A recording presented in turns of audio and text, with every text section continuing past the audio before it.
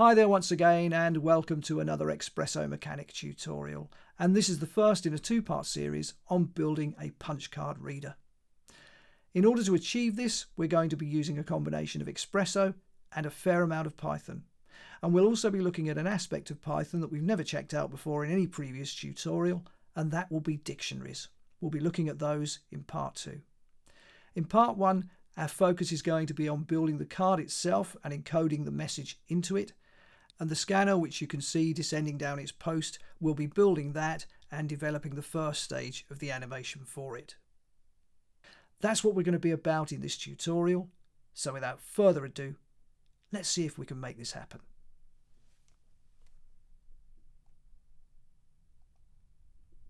We start with a rectangle and in the width we make it 140 and the height 300 and 40. We can leave it set up along the XY plane. That's perfectly good for us and leave everything else as it is. So that's the starting point for our card. The next step is to grab a circle and we'll give our circle a radius of 5 centimeters. Moving on from here, we'll get a cloner. So I'll hold down the option key so that we get the circle directly in the cloner. And the cloner needs to be set up as a grid, that's fine. We'll leave iterate as the clones, that's absolutely fine there. We won't worry about any of this. Our count value needs to be 7 by 17 by 1. And our size 20 by 20 by 0. And as you can see, that's set us up with 17 rows of seven circles. Okay, that's great. That's the second step towards making the punch card. The next step then is to select all of these and I'm just going to group them and name this originals. At least I can if I can spell it correctly. Original owls. That's better. Right. So we've got all of those in there and I'm only doing this in case I make any mistakes. So I'm going to copy these from there and then hide the originals and just close that up. And I'll hide them in the render view as well. It doesn't really matter at this stage, but it's a good habit to get into. Okay, great.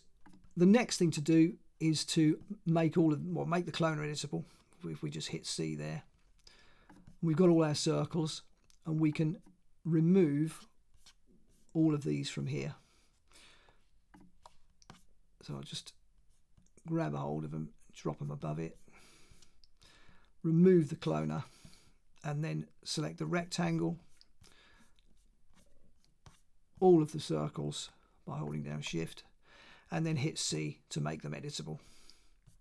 Everything is editable, and then I can say connect objects and delete so that we've got a single object. Now, at the moment, you can see there's a bit of a, an issue here. All we need to do select our circle. We want it linear, but we also want to say none. No intermediate points.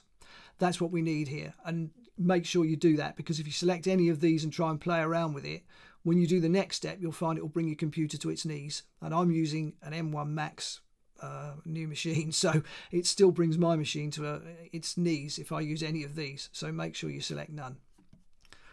Okay, great. So moving on from here then, I'm going to hold down my option key and I'm going to select extrude. Straight away we get the extrude. And I'm going to make the offset just 2.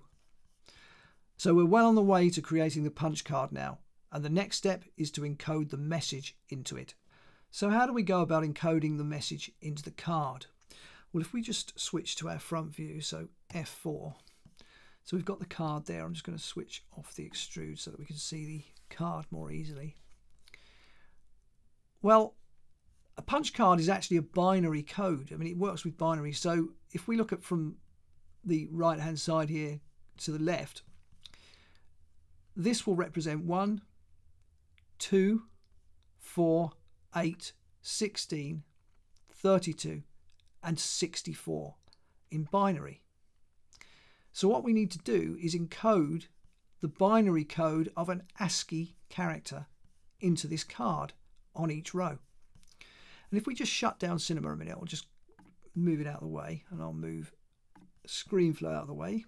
Now I've got an ASCII table here in the middle of the screen. So I'm just going to click on that and hit spacebar. And this is actually downloaded from Wikipedia. It's completely public domain, so there's no copyright issues with this particular file.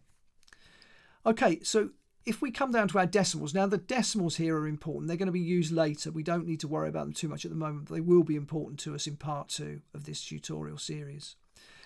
So if we look at the E here, we can see that its binary code is here. So it's 69 in decimal, so 64 here, 4 and, and 1. So 64, 4 and 1. And that will give us a letter E. Similarly, with, with I'm, I'm going to be encoding Expresso Mechanic with a space between the two words into the card. So the X down here, we can see that it's 88 and its binary code is 64, 16 and 8. And if you add those together, you get 88. So that's what we need to encode in the card. We need to go through this table and put the correct letters into the card, just encode their binary codes into the card. And that's exactly what we're going to do. So let's bring cinema back. So what was our E for before I do that? So I want 100101. Okay, so we can do that one straight away. So let's go back and select our spline, go into points mode. And I said that I wanted one, so I need the 64 there.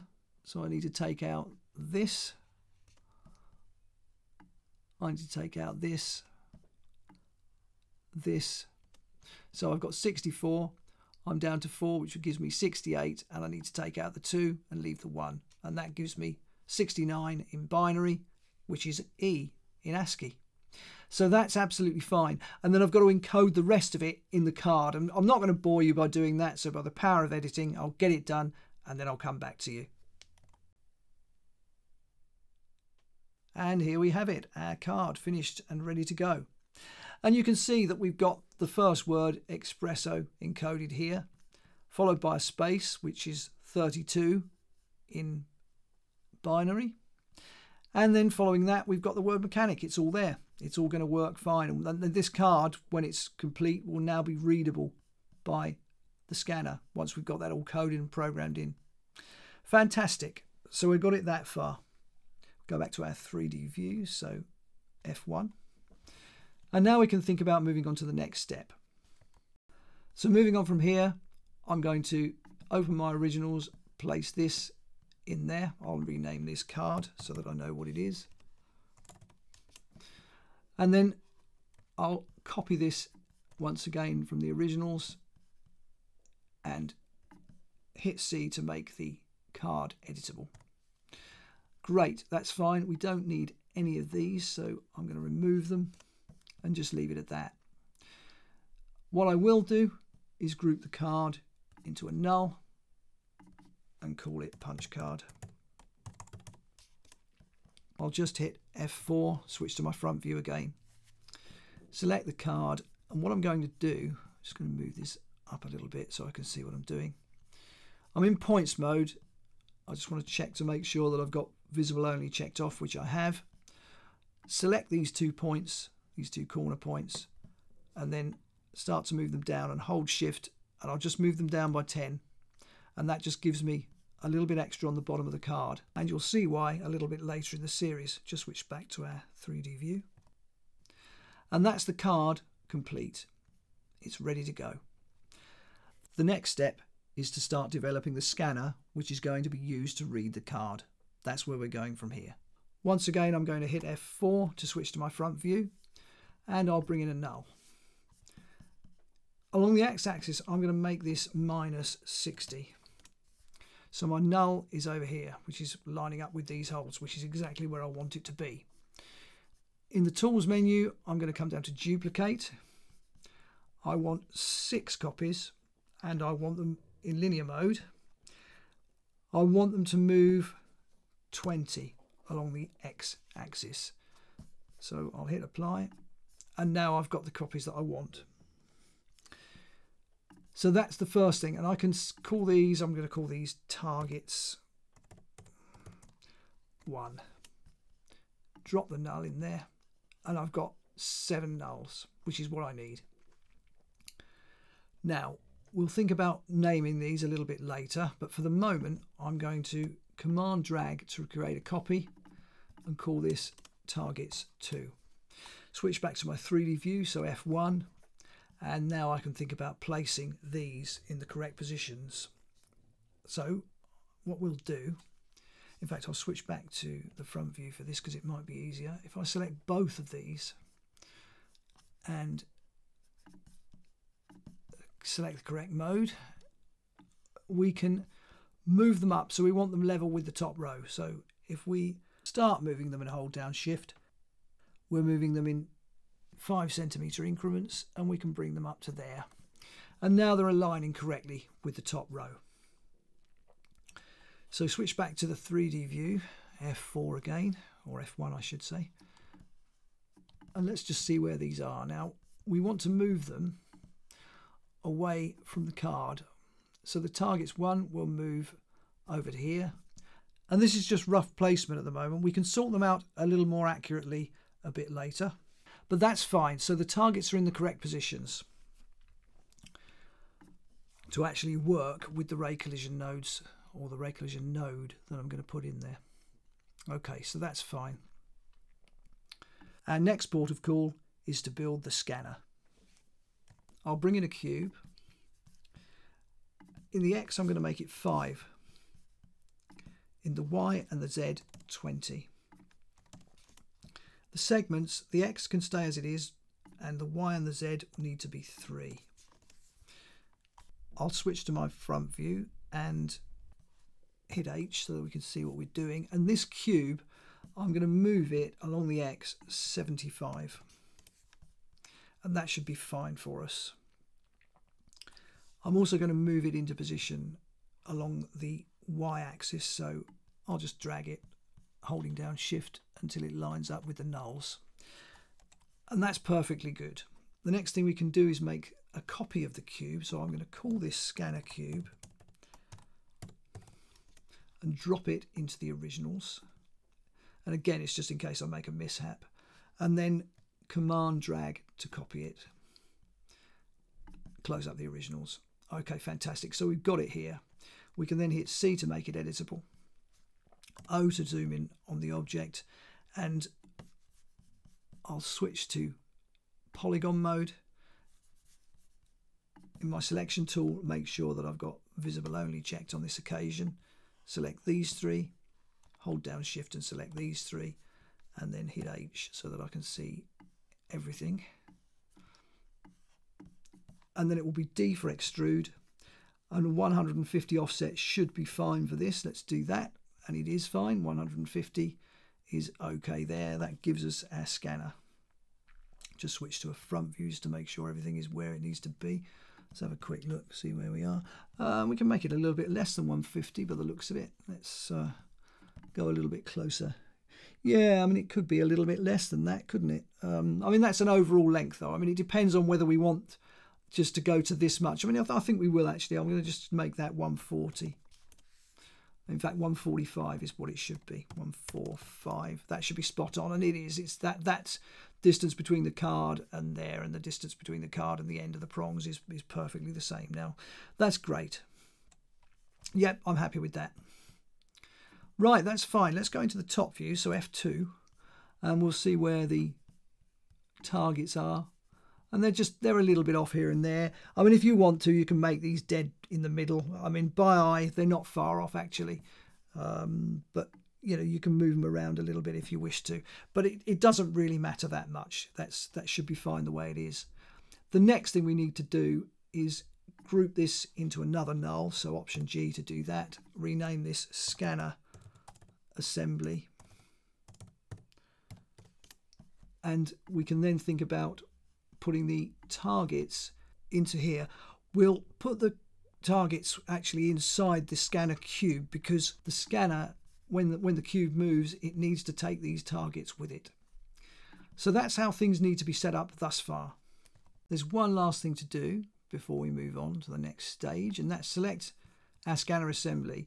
Now in the Z, it needs to just move one centimetre in order to make, if we just switch to the top view, so F2, it, that was just to make the card equidistance. If we just take that back, you can see that's where the where the scanner was. Just doing that makes it equidistant or, or the card equidistance between the two prongs. So that's perfectly good.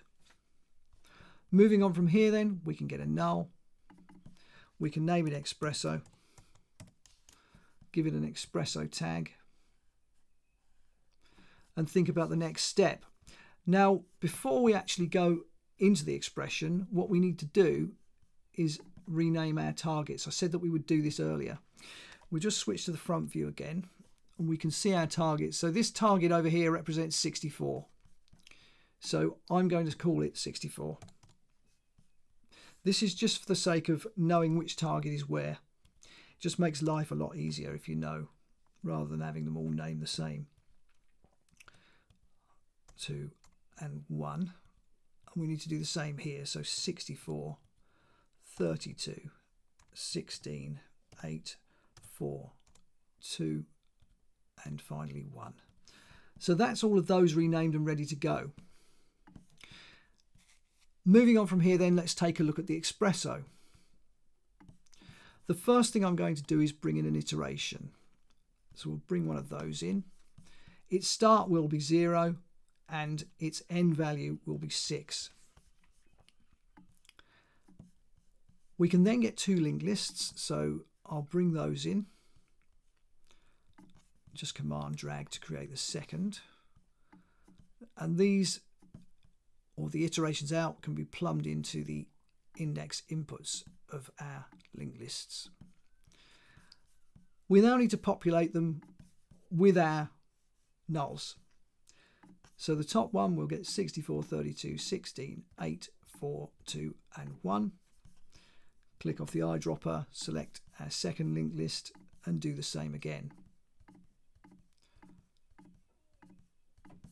and that's correct. So we've got both linked lists matching, and that's exactly what they need to do. Because of course we've got seven pairs of targets, and we're going to be using a ray collision node, and we need to ascertain as to whether the ray has passed through a hole in the card or whether it's actually hit the card. So that's what we're about here. We need to find out whether our targets are being impeded or not being impeded. So moving on from here then, we need to bring one of each of these in. So I'll bring 64 from the top and one from the bottom just for the sake of making them different. And then connect the linked lists and we'll give them object ports at the input stage. We can then think about the output stages of both of these. Now they need global position output ports. So we'll give them those and then command double click to make them bigger so that we can see what's going on. We can then just make the window a little bit bigger, move the nodes over to the left and we can reach for the all-important ray collision node. At the moment it's got a yellow top because there's nothing plugged into it and what needs to be plugged into it is this punch card. We'll give this an object port at the output stage and we can plumb it into the input object port on the ray collision and straight away our yellow top disappears. We can then plumb the global position out of our 64 node here into ray point 1 and do the same with the output port or global position output port of 1 here into ray point 2. So now we're sequencing through our pairs of nulls and the ray collision node is checking to see whether they've hit the card or whether they're passing directly through a hole without anything breaking the ray. So that's perfectly good. That's working exactly as it should be. Now, if there is a collision, it will output a 1 at this output. So that tells us when there's been a collision. The next thing we can do is bring in a compare node.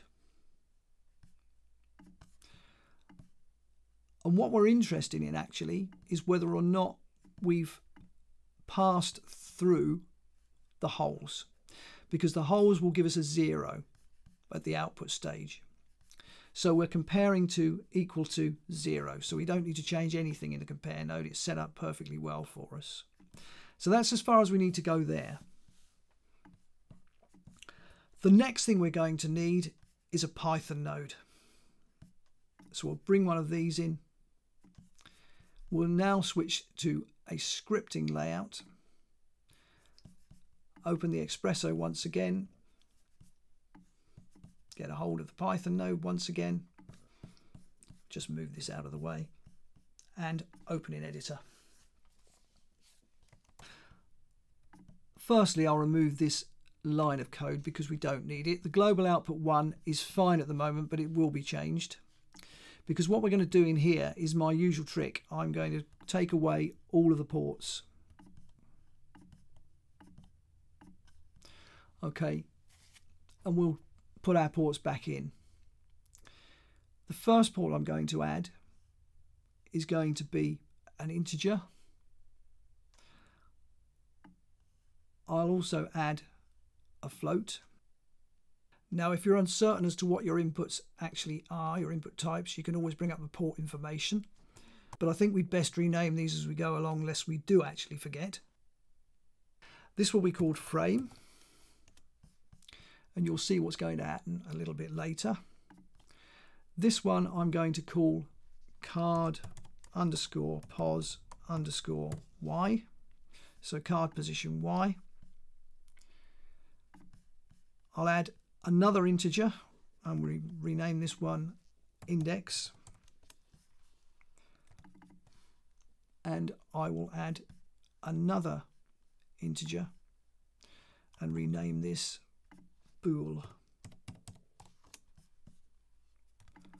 At the output stage I'm going to add a float. Could have left the existing one there really but start from scratch. Rename this move scanner. Command double click so that we can see our whole node and we're ready to start some work. Now, the bool we can actually connect up to the compare so they can be linked together. The frame, I'm going to get a time node. I mean, we could technically code a frame variable like we do with well quite often do with things like uh, Python effectors and stuff like that but I won't on this occasion it's just as easy to get a, a time node in give it a frame port I'll delete the time port and plumb this in here so that's giving us our frames from the timeline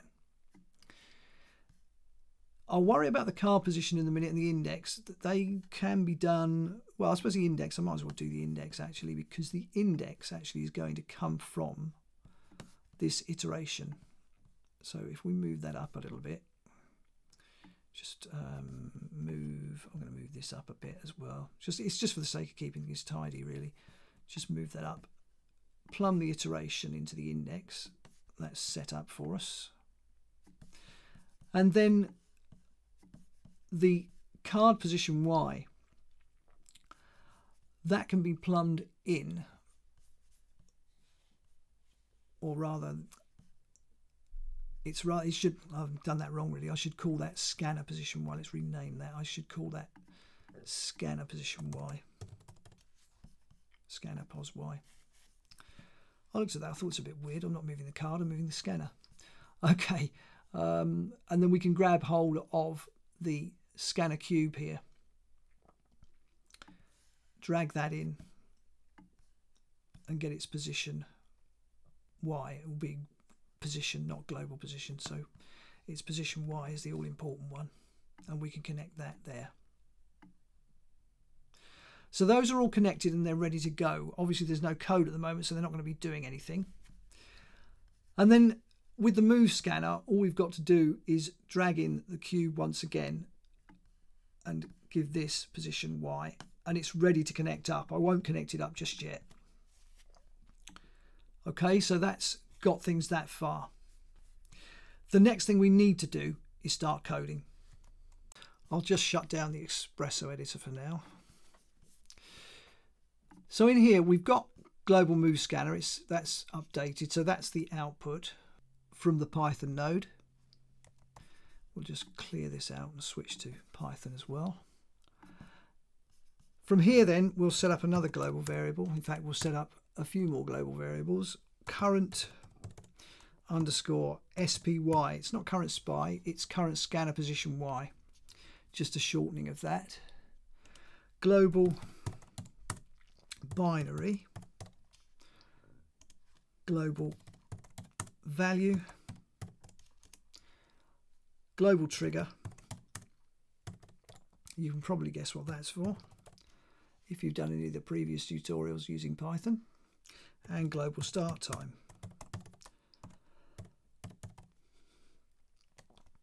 Okay, so now we've got our global variables defined, we can think about initialization. The first thing I'm going to do is say binary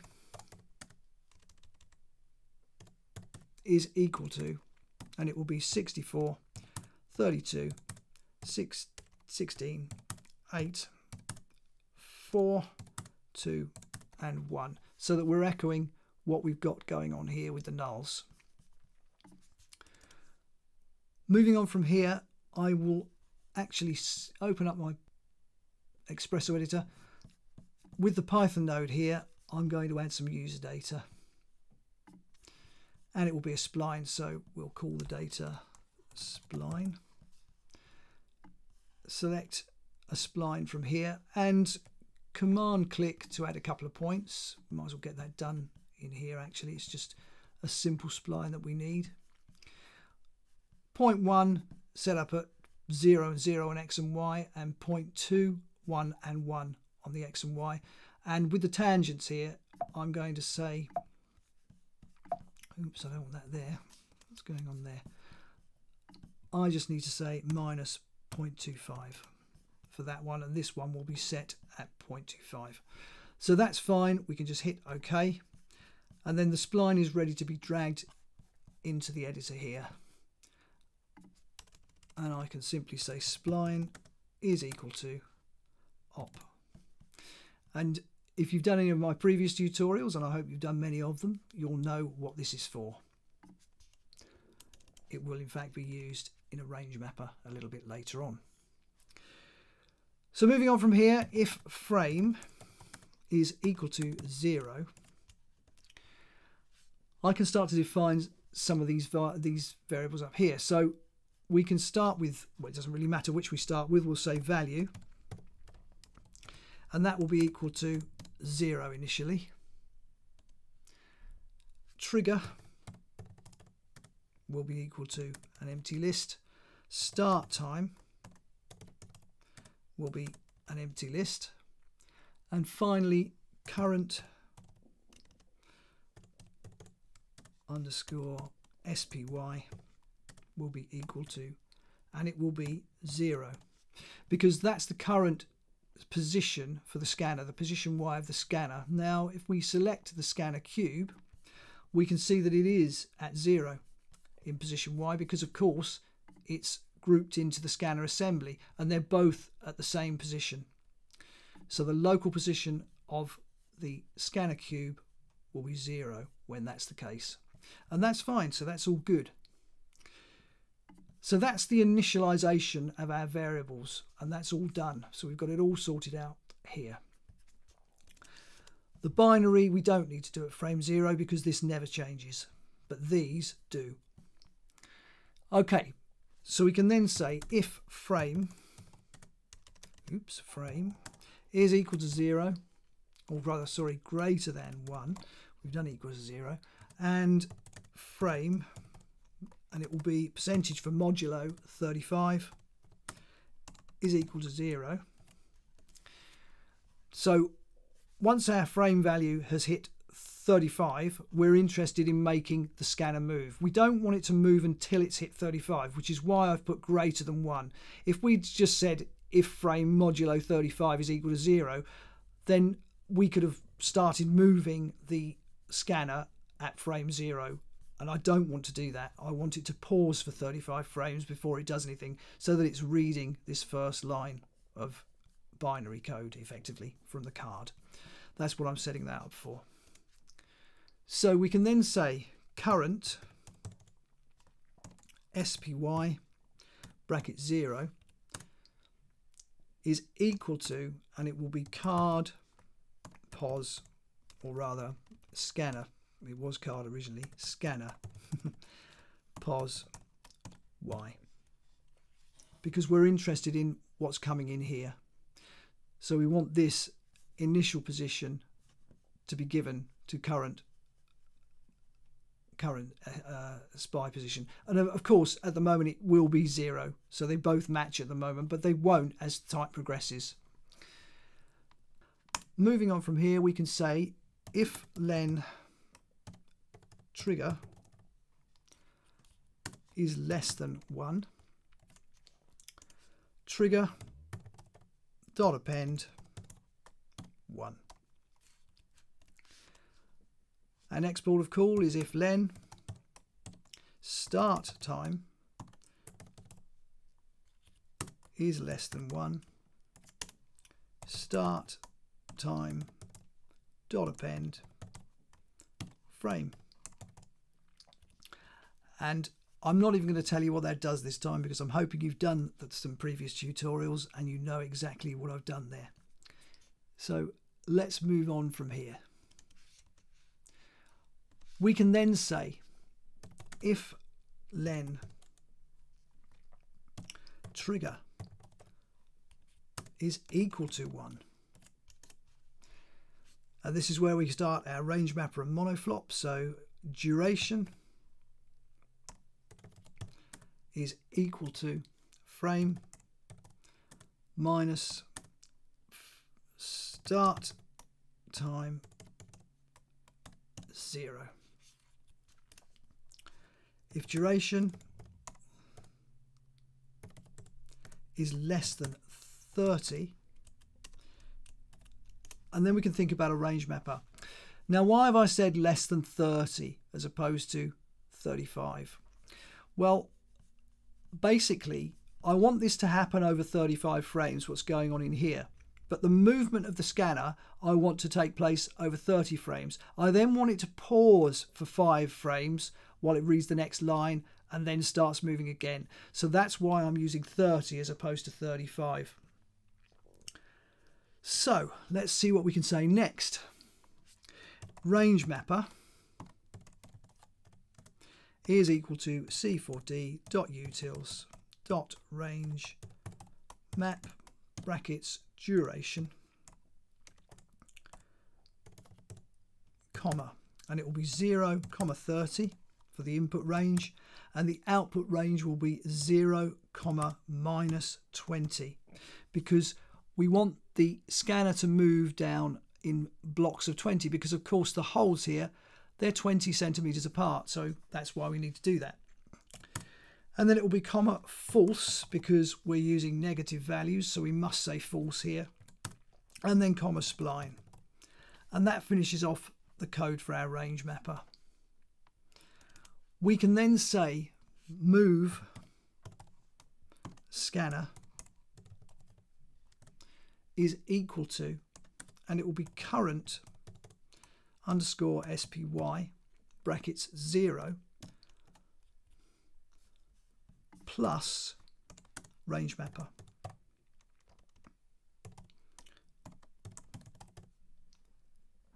So whatever our current position y is, we need to add the value, which is going to be a value, as a minus value, it's going to be 0 to minus 20, which will move the thing down, obviously. So that will enable the scanner to move down in blocks of 20, as I mentioned earlier. Now, we've got to take this a step further because if we don't, what will happen is the, the scanner will actually move down 20 and then it will jump back to zero if we don't do this next piece of code. So we've got to say value, and this is where this comes in, brackets zero is equal to move underscore scanner. Simple piece of code, but we've just simply got to take this, this value here, whatever this value is, we've got to place in here because this will reset to zero. But once we've stored it in here, this won't change until we actually make the next move. So it will actually enable us to hold the scanner at its current position no matter where it is. So that's why this line of code is so important. We can then say else, and it's the usual thing, trigger dot clear. And start time dot clear. And then the final line of code is move scanner is equal to value brackets zero. As opposed to saying it would be equal to move scanner. Or rather it would be equal to current rather current current uh, position y. So that's very very important. This this value here is the key to making this work. And that's as much code as we need at the moment and it should all things being fair actually make this work. So let's connect these two together. That's the last stage and we'll just close this down I think we'll go back to a standard layout for this and hit F1 to get into the 3D view. Right, last thing to do, just give ourselves some more frames. We'll go to about 600 and hit play and see if anything happens. And away it goes. And as you can see, it's doing exactly what I said it would do. It drops by 20 units, pauses, and then drops. And that's exactly the motion that we need. So yeah, this is working really nicely. And then we loop back to the top. Now, if we had more than 600 frames, we'd find that the scanner would actually keep on moving downwards and we'd actually get an error in the Python code because it would be looking at something that wasn't actually there. So it would be out of range. It would give us an out of range error of, of, of some kind there. So in part two, we'll actually correct that. When it gets down to the bottom here, we'll make it go right back up to the top and then start moving down again and repeat the process. We will also be making the scanner actually read what's on the card and convert the binary into decimal and the decimal into letters and then we'll be making those letters appear on a computer screen. That's what we'll be doing with this in part two. So be sure to tune in for that. But anyway, for now, that just about completes this tutorial. So, if you've enjoyed the video, please give it a like, and if you haven't already, then please subscribe to the channel. And of course, leave a comment and ring the bell. And wherever you happen to be on social media, then please, please share this video because all this good stuff helps keep the channel moving in the right direction. But anyway, for now, that just about wraps this one up. So I'll see you very soon for part two.